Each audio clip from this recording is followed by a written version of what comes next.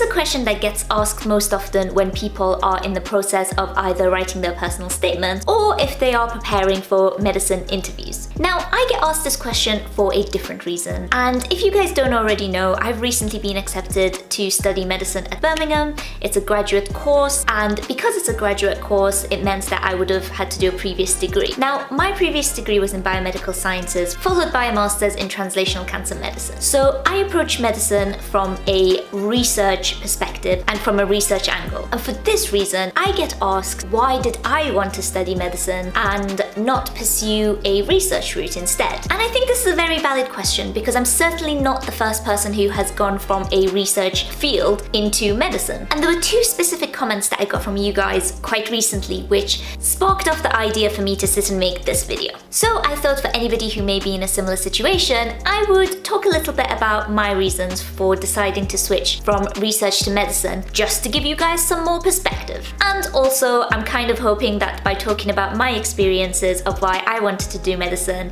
it may help you guys who are in the process of preparing for interviews or writing your personal statements kind of gather your thoughts, I suppose. So, as I mentioned, my journey began with studying biomedical sciences at Newcastle University. And at the time that I applied for biomed, I genuinely think I was one of the very few people who applied for the course just because I wanted to study biomed. Honestly, to this day, I still get people saying to me, Oh, you did biomed! Is that because you failed to get into medicine the first time round? No! I just like science. But to be honest, it is a valid question because biomed is like the gateway drug into medicine for a lot of people. So joking aside, when I first started biomed, I knew that I wanted to do something in a lab, but I thought that I wanted to work in an NHS lab. So for a really long time, I was thinking about transferring onto an accreditation program where you essentially get qualified to go and work in an NHS lab as a biomedical scientist. Now my university wasn't accredited with the Institute of Biomedical Sciences, which is what you need to work in an NHS lab. And I'm not really sure about the reasons for this. Some universities are accredited and some aren't. But from my understanding, research universities tend not to be accredited and the ones that aren't that research heavy do tend to be. But please correct me if I'm wrong because I've never really figured out why some universities are and aren't. Anyway, long story short, Newcastle was not accredited and they were a pretty research heavy university. And soon enough, I fell in love with the research side of biomed. I remember it was in the summer after my second year, I was very, very fortunate to find a 10 week placement and I got to work in a breast cancer lab. And honestly, my love for being in a lab and research, everything started from there. And I'm really, really thankful for the opportunity that I got. And in case anybody asks me in the comments, which some of you might, I got that place simply by emailing so many PIs. I think I emailed around 40 people and one person offered me a place to go and work with them over the summer. So fast forward a little bit onto third year, I've already done 10 weeks working in a lab and then I did my dissertation, which was another 8 to 10 weeks in a lab. And by this point, I had kind of made up my mind that, you know what, I want to go and do a PhD. I really like this, I want to build on a research career, I want to move towards that path. And I really can't remember the specifics of this, but I have a feeling that in my third year, I did apply for some PhDs straight after. And when I say some PhDs, I mean, I think I literally applied to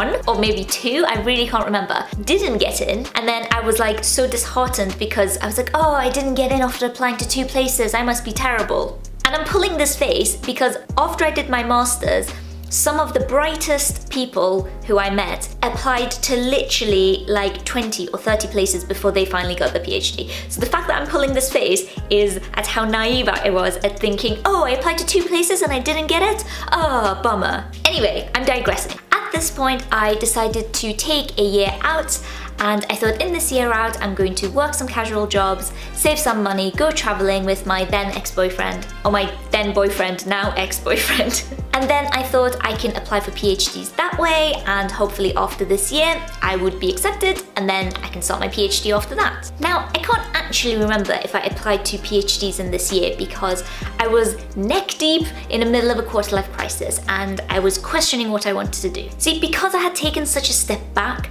from academia and my travel plans had fallen through, I was working between a tutoring job and retail and I was just in such a fuzzy state of mind. And I went through a lot of ups and downs during this period, but I think I got to a point where I just decided, you know, enough is enough. I can't be stuck in this state of indecision I'm going to apply for a master's because if I don't get a PhD straight away, it might be better for me to go and do a master's, spend a year doing research, getting experience, being exposed to the field again, making contacts, and hopefully after that, I'll be able to apply with a PhD with more experience. So that was my plan. And then I started my master's and that pretty much changed everything. You see, when I was doing research before and the projects that, the two projects that I had done before during my, uh, my undergrad were also both cancer research. But when I started doing my master's, again, it was cancer research, but it wasn't basic science like what I had done in my undergrad.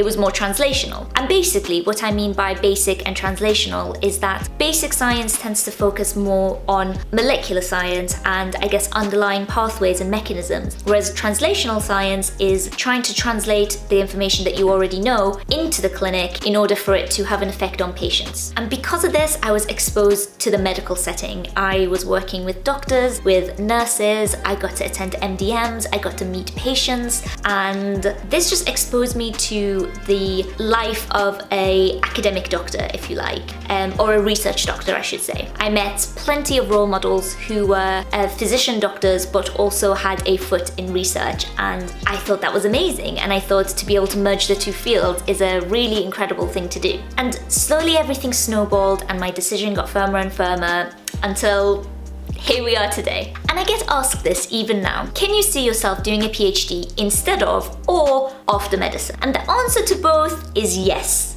Yes, I can. So before I got accepted onto medicine, when I submitted my 2018 application, you know, just in October, I said to myself that I'm going to give medicine maybe one more year of application. So if I'm not successful this year, I will give it one more go. And after that, I will actively start pursuing a PhD. So that answers the question of would I do PhD instead of medicine? Although I'm so passionate about medicine and I'm so happy I've gotten accepted and I'm so excited to start, I am also very passionate about research, so although it wouldn't be exactly what I wanted to do, it would still give me a chance to do something that I love. So yes. Now regarding the second question of would I do a PhD after medicine, yeah, absolutely. Correct me if I'm wrong, but from my understanding it is that right now a lot of people who do want to become consultants need some sort of a master's or PhD or some sort of like a research background or experience. Maybe this isn't true in all fields, but I think definitely in oncology where it is very research heavy, it's a very research heavy specialty. So I can definitely see myself doing medicine,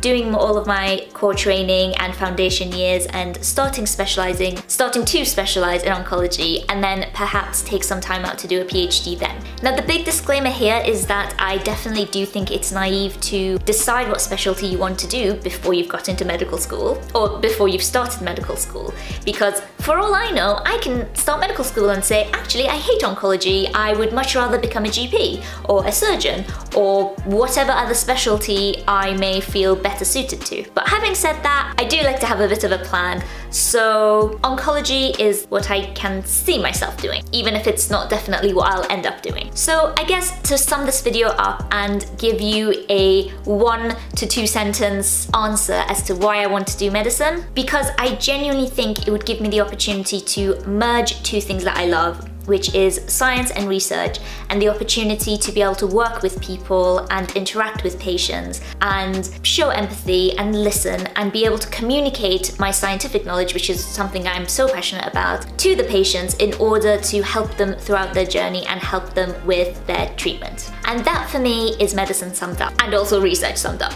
And you know, I would be really interested to watch this video back maybe in a couple of years and see if I still feel the same. So let me know if you guys are in this situation. Do you come from a research background? And if so, can you relate to anything I'm saying? Or even if you are in a research background, could you see yourself doing medicine? Ultimately, I hope you enjoyed this video. Do give it a thumbs up and subscribe and all of that fun stuff. And until next time, take care and I will see you later.